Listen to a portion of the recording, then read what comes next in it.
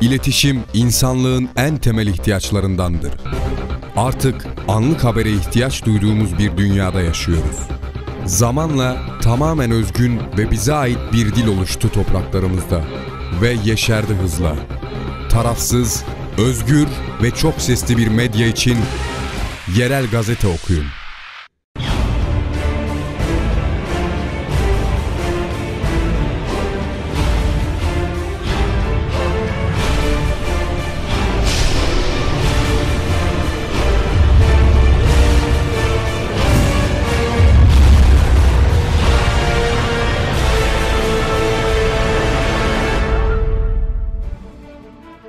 Mersin Gazetesi Allah nazardan saklasın.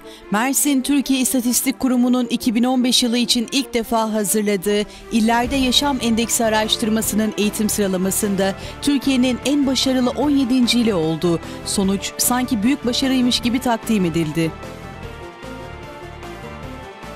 Her anne babadan ayda bir SMS istiyorum. Mersin'in Tarsus ilçesinde bir yıl önce 11 Şubat 2015 tarihinde hunharca katledilen üniversite öğrencisi 19 yaşındaki Özgecan Aslan'ın ailesi kurdukları Özgecanlar Derneği bünyesinde Özgecan'ın hayallerini gerçekleştiriyoruz sloganıyla başlatılan kampanyaya tüm anne ve babalardan destek bekliyor.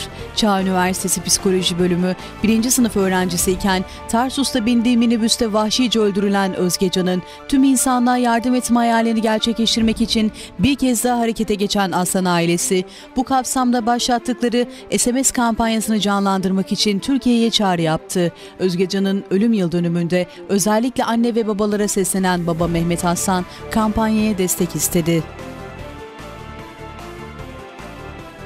Hakimiyet Gazetesi Mezbahanede koyun tosuna dönüşmüş.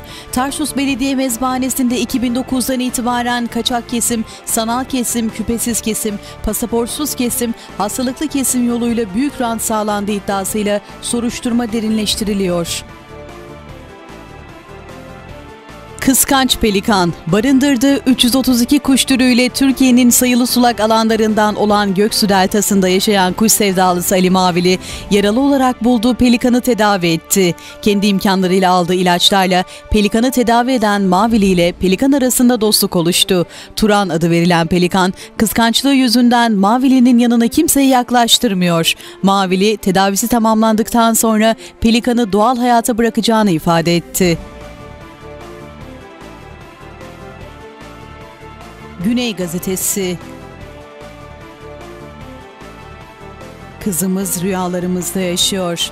Mersin'in Tarsus ilçesinde 11 Şubat 2015'te vahşice öldürülen üniversite öğrencisi Özgecan Aslan'ın annesi Songül Aslan ve babası Mehmet Aslan, Özgecan'ı sürekli rüyalarında gördüklerini ve ben ölmedim, tatildeyim dediğini belirterek Allah kimseye böyle bir acı yaşatmasın diye konuştular.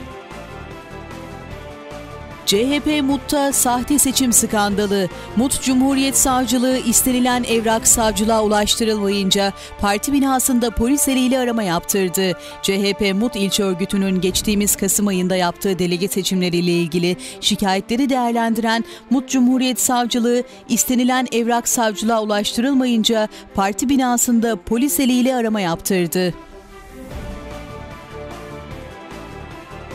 Haberci Gazetesi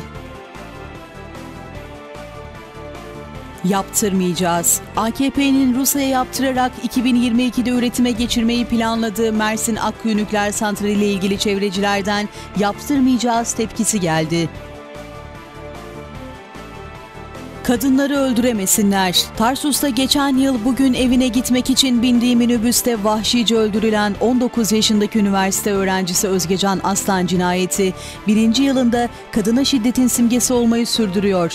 Özgecan Aslan cinayetinin birinci yılında Mersin Barosu Başkanı Alpay Antmen, cinayetler sonrası yapılan hak arayışının önemli olduğunu ancak asıl önemli olan kadınların öldürülmemesidir. İşte sistemi bunun önüne geçmek üzerine kurmalıyız dedi. Mersin Barosu Kadın Hakları Hakları Merkezi Başkanı Seher Yalçınkaya Çetin ise yasaların kağıt üzerinde kalmasını eleştirerek adeta seferberlik ilan edilmesi gerektiğini söyledi. Özgecan Aslan'ın acılı ailesi ise kızlarının acısının dinmediğini söyleyerek cezalar yeterli değil mesajı verdiler.